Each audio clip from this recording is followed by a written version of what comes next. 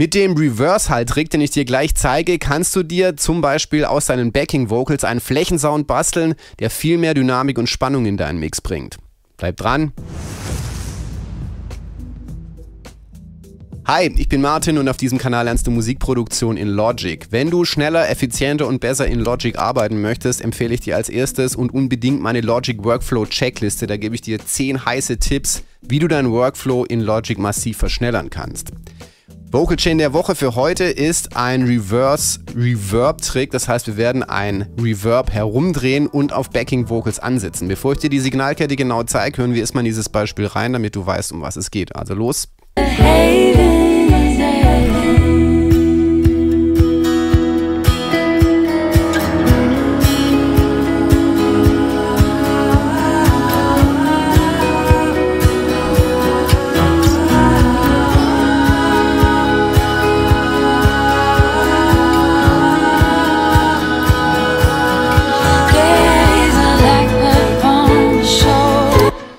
Mir geht es also hier um diesen Übergang. Du siehst hier schon vom, von der normalen Ansicht hier im Arrangement Window, das ist so ein etwas untypisch, untypischer Song, der fängt sehr schmal instrumentiert an und steigert sich dann immer weiter, immer weiter, immer weiter. Hier kommen immer mehr Backing Vocals dazu. Dann kommt hier ein Interlude, also ein Zwischenspiel.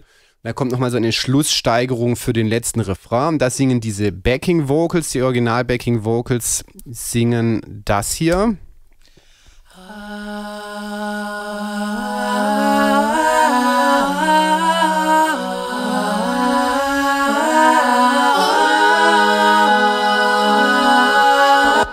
Klingt schon ganz verschickt, klingt schon ganz cool, klingt schon wie so eine Art Flächenpad, aber ich habe mir gedacht, wir können das noch ein bisschen krasser machen und habe dann das hier draus gemacht.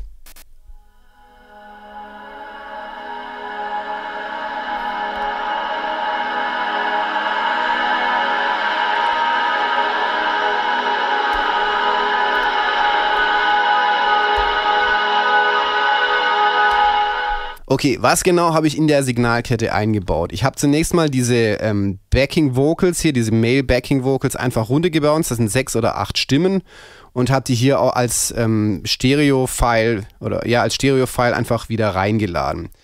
Dann habe ich folgendes eingesetzt. Also so klingt es jetzt normal, ja, das haben sie gesungen.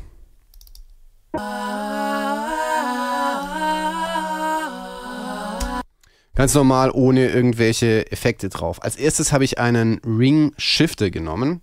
Den Ring Shifter von Logic gibt es auch in anderen DAWs. Ein Ring Shifter ist ein Mix zwischen Ringmodulator und Frequenzverschieber. Und äh, das ist ein recht komplexes ähm, Plugin und auch dieser, dieser Effekt Ringmodulator, der war so in den 70ern sehr berühmt. Wenn, wenn dich das interessiert, dann schreib mir einfach mal Ring Shifter in die Kommentare, dann kann ich dir den mal komplett zeigen. Äh, das Ergebnis jedenfalls ist, dass du einen sehr glockenartigen und teilweise rob robotermäßigen, phasigen, also auch phasenmäßigen Klang bekommst und so, so ein bisschen so einen psychedelischen Sound erzeugen kannst. Sprichwort die Purple, nee, Pink Floyd waren es, glaube ich, und so weiter. Ich schalte den einfach mal zu.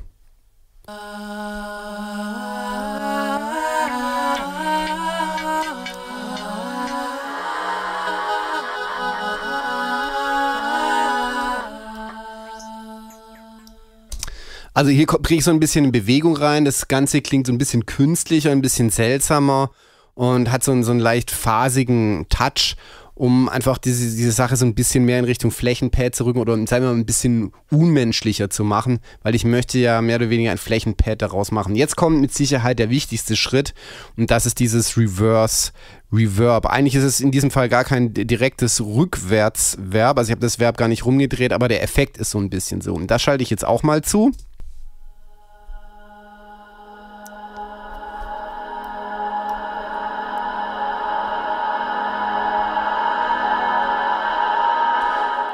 Das ist kein, äh, es klingt wie, wie so ein Rückwärtsverb, so ein bisschen, es ist aber kein rückwärts abgespieltes Verb. Also ich könnte es ja auch tatsächlich reversen, das habe ich aber nicht gemacht. Ich habe äh, ein bisschen was anderes gemacht. Wir können das jetzt nochmal rekonstruieren. Ich gehe einfach nochmal in die Standardeinstellungen, Standard aufrufen. Was ich als erstes gemacht habe, ist mir ein Preset rausgesucht. Bei Warped Effects und Moving Spaces Maneuver heißt das. Das klingt so.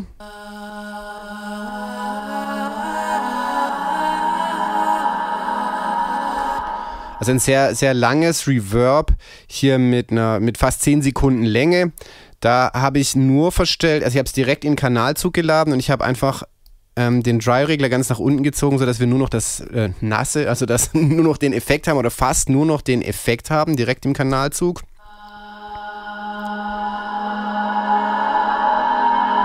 Klingt so, ein, klingt so ein bisschen äh, Mönch, Mönchmäßig, ja, aber ich ersäufe jetzt praktisch diese Backing Vocals im, im Hall. Und dann habe ich eigentlich nur die Effektzeit hier oder die Attack-Zeit hier runtergezogen. Das heißt, ich fahre das Ver äh, Reverb relativ langsam rein. Ich bin hier relativ weit nach unten gegangen, ungefähr so. Die Attack-Zeit nach hinten verschoben, also wann das äh, Reverb tatsächlich einschlägt. Und er äh, habe ich hier so gelassen.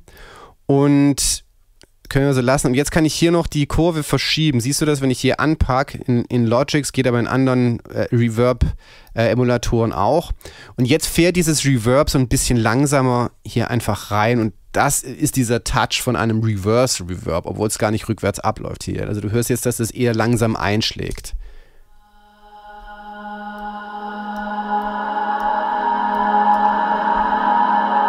Und sich steigert.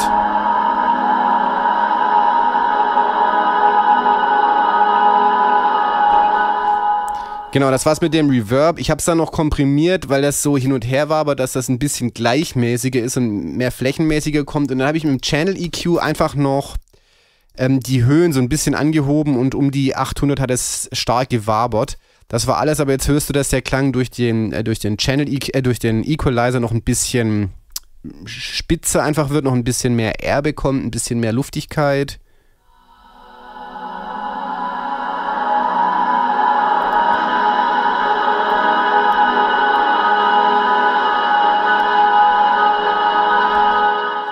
So etwas mehr Hauchigkeit, ja.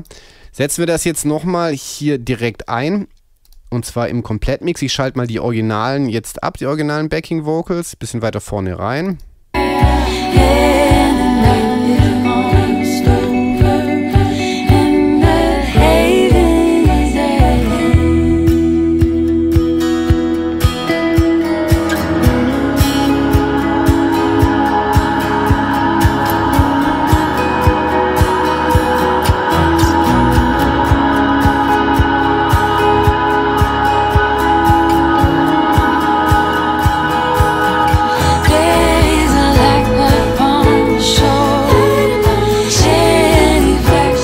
Ich habe noch, um das anzupassen, habe ich noch mit der Automation hier ein bisschen nachgearbeitet. Ja, also die Automation habe ich lauter gemacht, dann leise gemacht, weil der Effekt erst leiser beginnt, dann lauter wurde. Ich wollte es aber gleichmäßiger haben. Also so fährt er langsam rein, bei gleicher, der Effekt fährt langsam rein, die Lautstärke bleibt in ungefähr gleich.